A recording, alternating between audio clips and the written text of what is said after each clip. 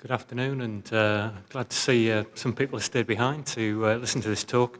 I'd first of all like to thank uh, Advanced Cell Diagnostics for uh, inviting me to come and talk about uh, some of the research I've done in collaboration with, with them over the last 12 months or so.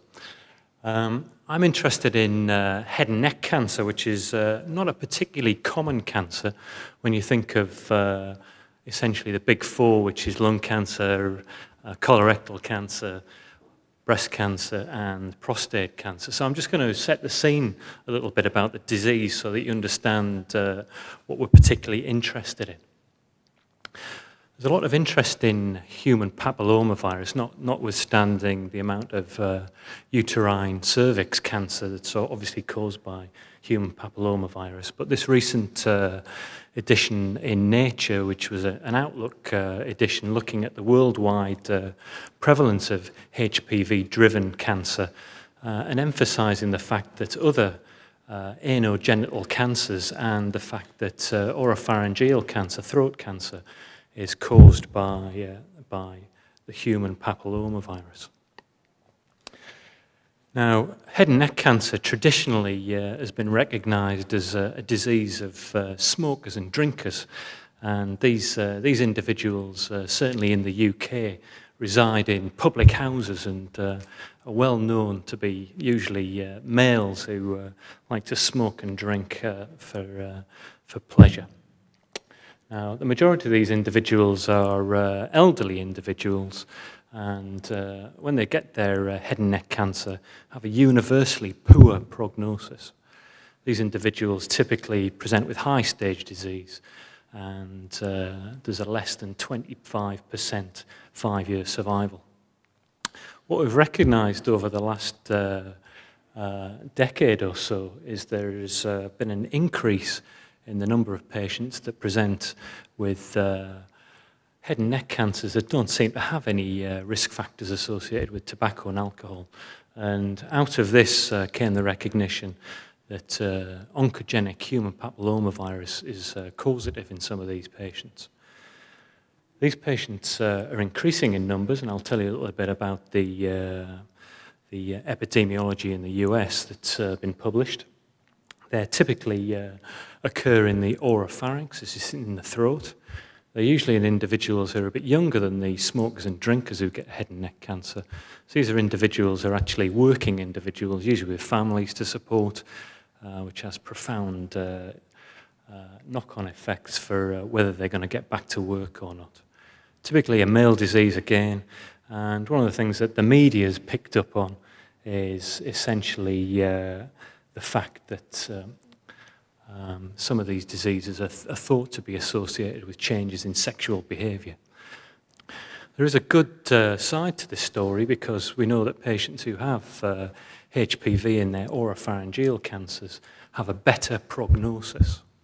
So these individuals do better, and they seem to do better regardless of the, uh, the therapy that they get. This is the US data that's recently been published.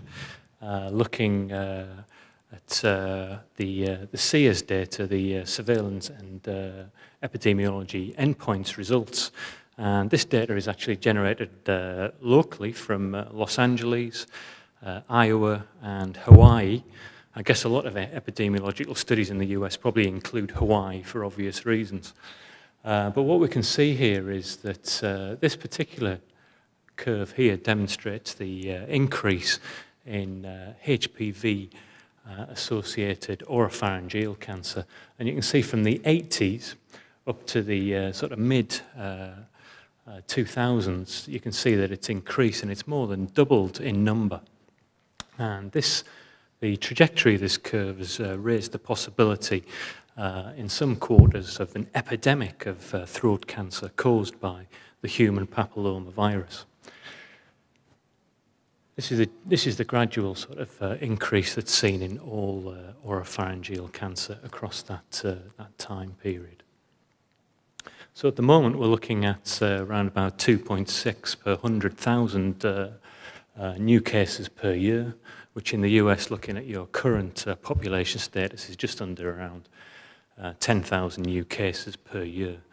These statistics are mirrored in the UK, where our cases have doubled over the last sort of 15 years, and we're finding that around about 60 to 70% have got human papilloma virus in them. This data was published uh, in a landmark paper in the New England Journal of uh, Medicine a couple of years ago from uh, uh, Kian Ang's group and Maura Gillison's group, uh, showing the uh, influence of human papillomavirus on survival uh, in a post hoc analysis of uh, clinical trials data. And this rather complicated graph here basically shows overall survival. And they define this low risk group here. These individuals uh, have a greater than 90% chance of surviving three years. And these are the individuals who've got HPV uh, oropharyngeal cancer. The ones with high risk in the high risk group are the ones that are HPV negative and are usually smokers and drinkers with uh, high stage. The intermediate group are the ones in the middle. Sorry, I should say the high risk groups, as you can see, have a, universally poor prognosis, around about 40% uh, three, three year survival. The intermediate group are the ones that are HPV positive and are smokers, or are HPV negative and don't have smoking risk factors. So we can split them into these, uh, these groups based on uh, behavior and HPV positivity. So essentially in clinical practice, we're using HPV testing of oropharyngeal cancers as a prognostic marker. And this is something as a pathologist that I'm asked to provide as part of our multidisciplinary team uh, meeting. In addition to that, I also use HPV status to uh, to guide my diagnosis when we've got uh, an individual who's got a lump in the neck that's uh, metastatic carcinoma. If it's positive for HPV, then that localizes the tumor uh, to the oropharynx and we can direct uh, surveillance of the oropharynx either clinically or by scanning to try and pick up a small primary. HPV testing is also in clinical trials at the moment. Uh, that Kian Ang paper in New England Journal of Medicine opened up the, uh, an RTOG trial 1016 looking at randomizing patients into two different uh, uh, therapies on the basis of HPV, HPV positivity. And we've got a trial opening up in Europe uh, which mirrors that trial. We're also using uh, HPV uh, diagnostics in epidemiological studies, as, as I've shown, in translational research, separating our uh, tumours into positive and negative ones, to inform uh, some of the genetic changes in the diseases. They're quite different biologically. HPV can be used for screening for early stage disease and post-treatment surveillance, and obviously can also inform uh, vaccination strategies within the, as public health measures. In addition to that, uh, in the US, uh, the data is so convincing that it's now in clinical guideline documents and the National Comprehensive uh, Cancer Network guidelines includes HPV testing, and there's also uh, uh, documentation in the uh, American College of Pathologists. Now, the guidelines don't stipulate which tests to use, but the tests that are typically used are uh, uh, assessment of P16 by immunohistochemistry and looking for HPV DNA by either in situ hybridization or by PCR.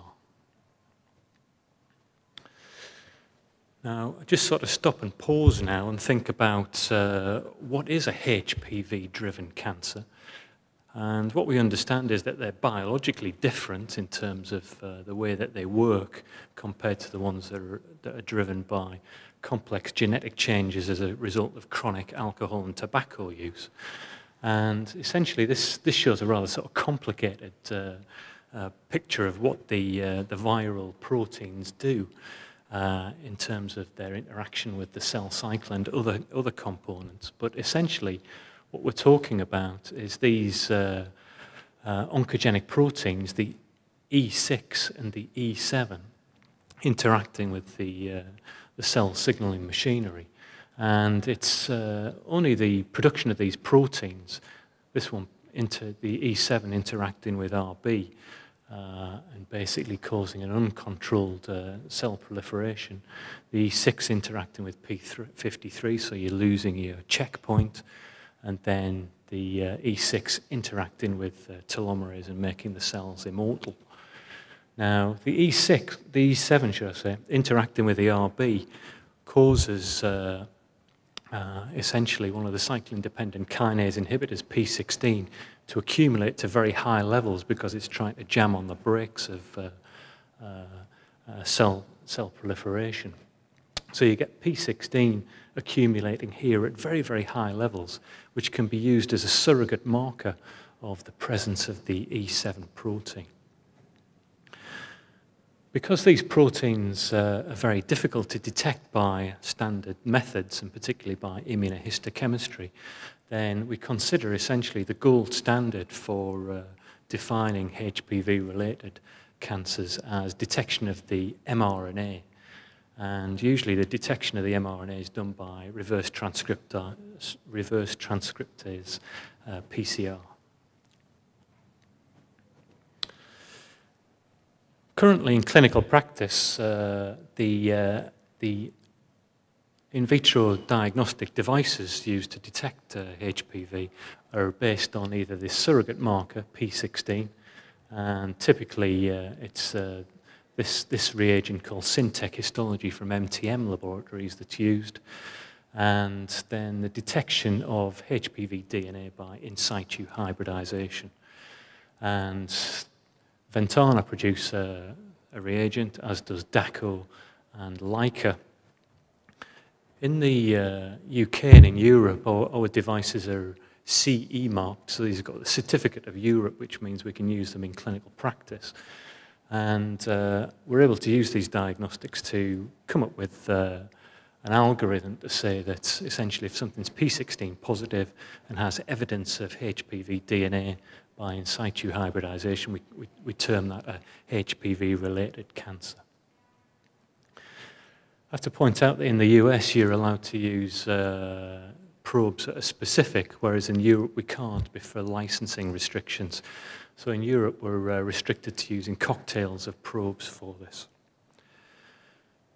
The in vitro diagnostic devices market is also uh, replete with uh, grind and bind techniques, and there are lots of uh, ones that have been developed for uh, cervical cancer that are also IVDs, but uh, don't really fit into the workflow, particularly in our laboratories, which are based uh, on tissue diagnostics.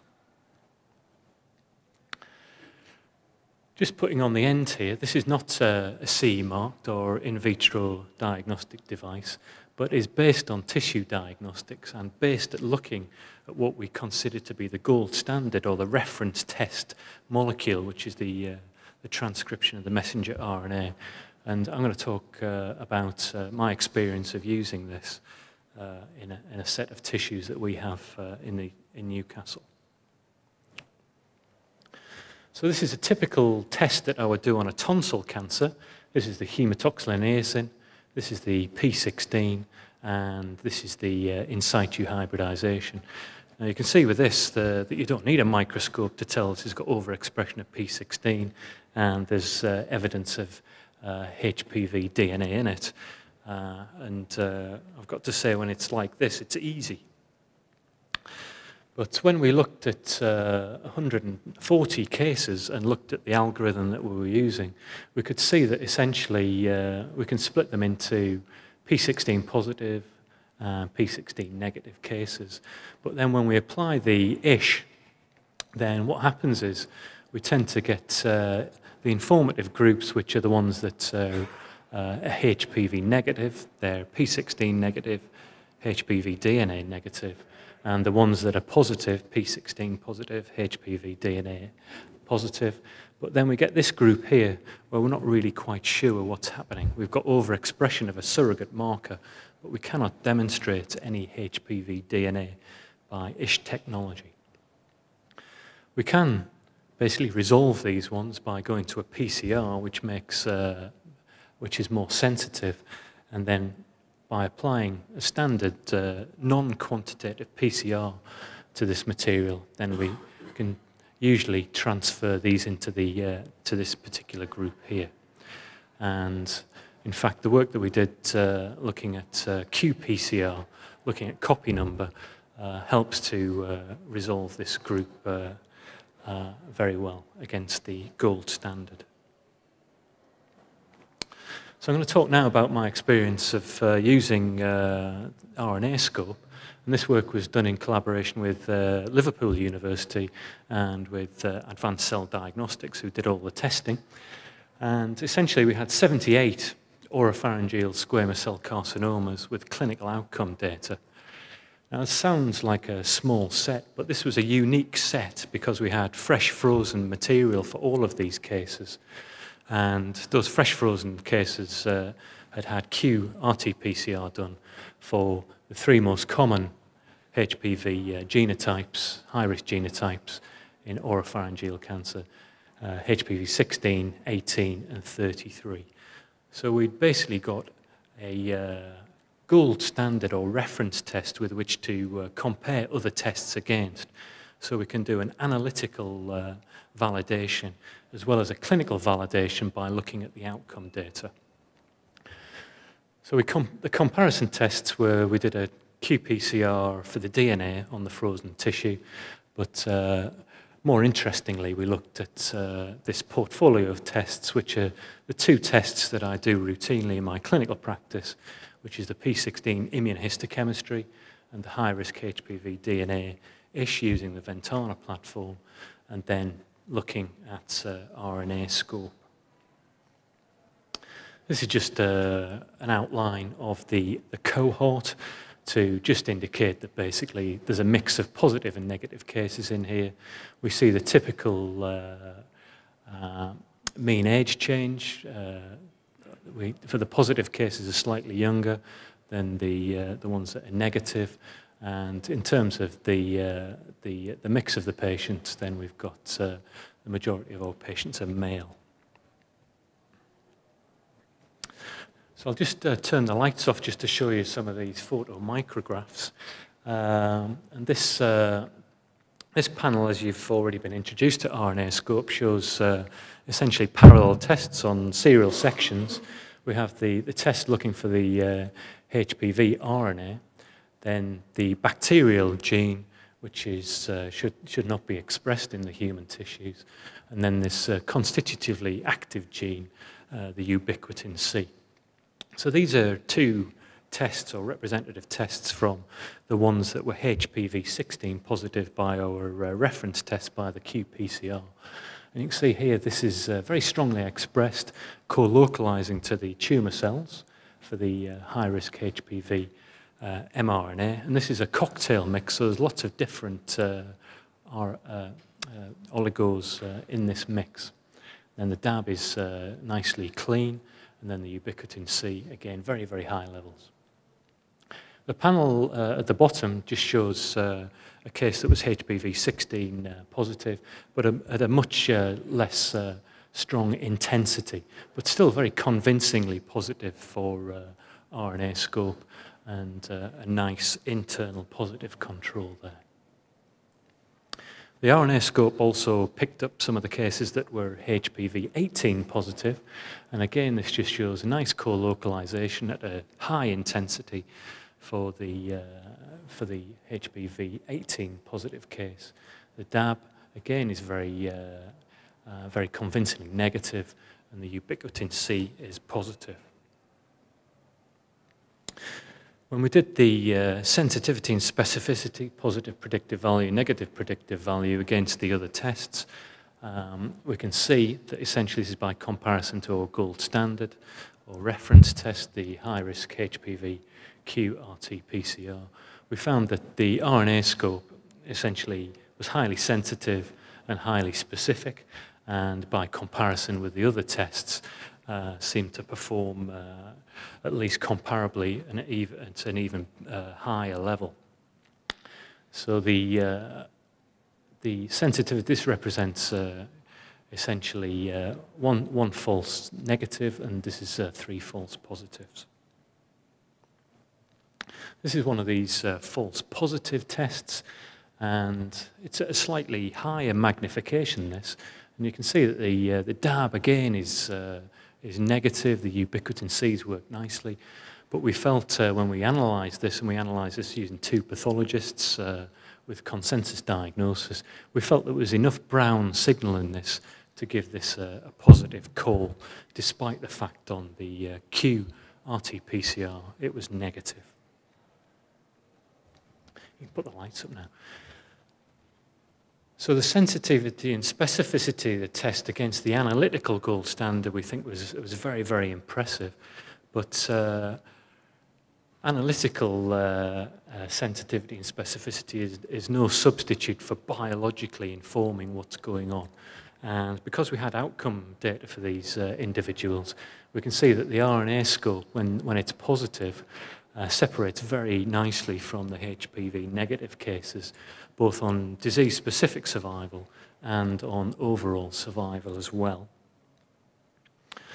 And when we compared that to the, uh, the gold standard test here, the QRT-PCR, we can see that essentially the three-year survival probabilities are comparable with the gold standard test. And uh, in fact, when you look at the log rank, the p-values, uh, the p-value is slightly lower than the other tests, indicating that as a single format test, uh, it performs very highly and is able to separate those two groups out. You don't have to take my word for it. In fact, uh, this work was all done before I, got my hands on the RNA scope or even heard about it. And Jim Lewis's group uh, in St. Louis was where I first heard about RNA scope.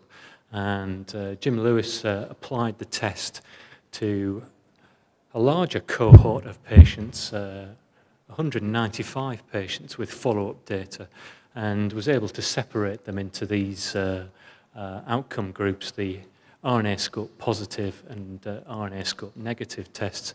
You can see that these uh, Kaplan-Meier curves are very, very similar to the ones that we had with our cohort of patients. And this, this work is uh, published in American Journal of Surgical Pathology. Jim Lewis's uh, work is, uh, is very well known and he's done other, other work with uh, RNA scope as well. But uh, just to uh, underscore the importance of uh, the test and the, the acceptance of the test in certainly in the head and neck community, is this paper has just been published by William Westra's group, who've probably done the most extensive publishing around oropharyngeal cancer and were the, one of the first groups to, to tell us about the importance of human papillomavirus in, in oropharyngeal cancer. And he's applied the test to his large cohort of patients with oropharyngeal cancer and find it, finds it uh, classifies the, uh, the tumours uh, accurately into the groups.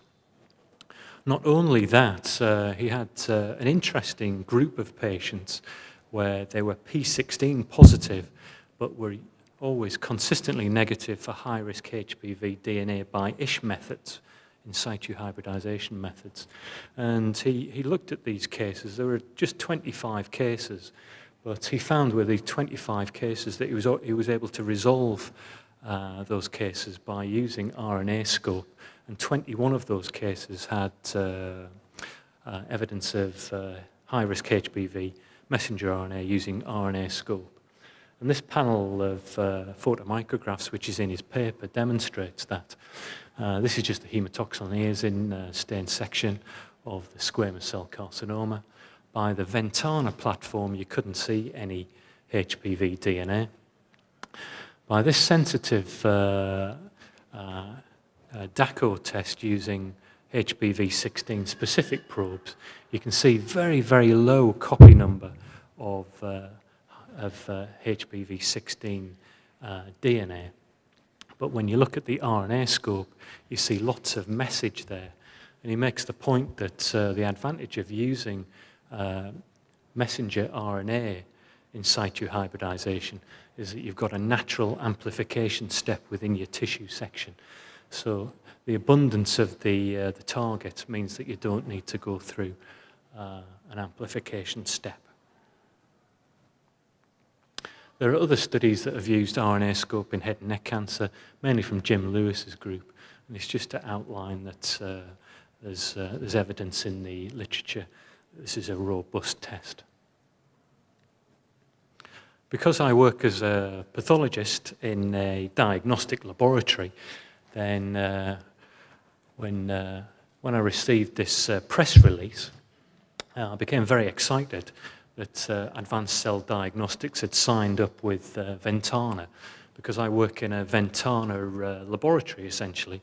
We have a Ventana uh, service agreement, which means that all of our diagnostic platforms are, uh, are Venta Ventana machines, which meant that if this uh, test becomes commercialized and uh, stamped as an in vitro diagnostic uh, device, then I can bring it into my laboratory for the benefit of the patients.